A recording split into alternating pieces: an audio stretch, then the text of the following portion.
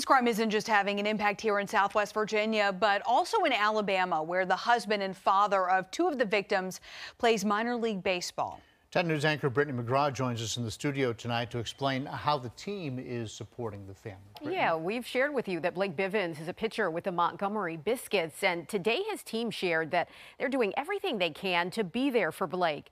That includes raising money for Blake through a jersey auction tomorrow night. The team will also wear patches on their uniforms for the rest of the season with the letters BIV. That's in honor of Emily and Cullen Bivens. They'll hold a moment of silence before tonight's game, the Biscuits' first game since Blake's wife and son were killed.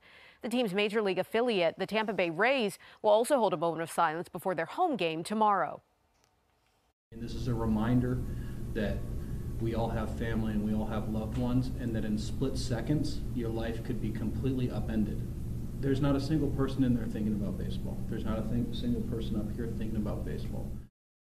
The Montgomery Biscuits say they're also making arrangements for any players or staff who want to attend this weekend's funerals for Blake's family.